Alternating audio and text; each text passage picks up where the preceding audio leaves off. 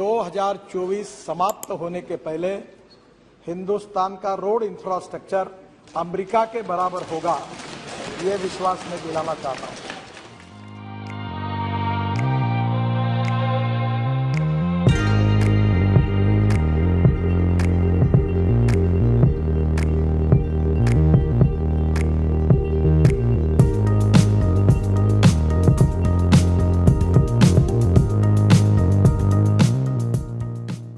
मैं बहुत बार ये कह चुका हूँ कि हमारे रोड, हमारे प्रॉस्पेरिटी के साथ जुड़े हुए हैं।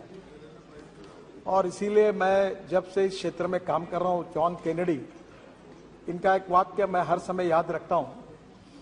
और उनने कहा था कि American roads are not good because America is rich, but America is rich because American roads are good.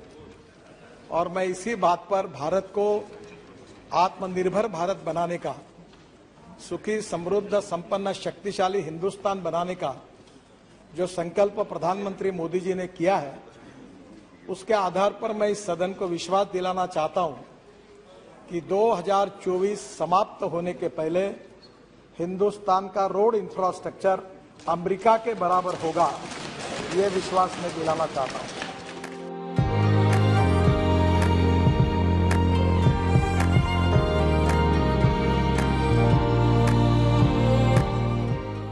मैं आपको ये विश्वास दिलाना चाहता हूँ कि लद्दाख और लेह से हम लोग श्रीनगर आने के बाद, श्रीनगर से डायरेक्ट वहाँ से निकलकर हम मुंबई चले जाएँगे।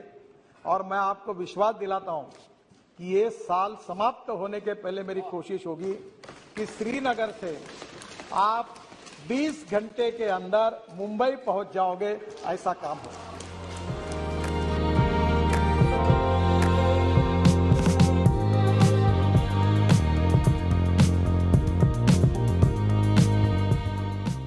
मैं आज सदन को विश्वास दिलाता हूँ, बहुत बार ये गलत काम हो रहा है, इलीगल है।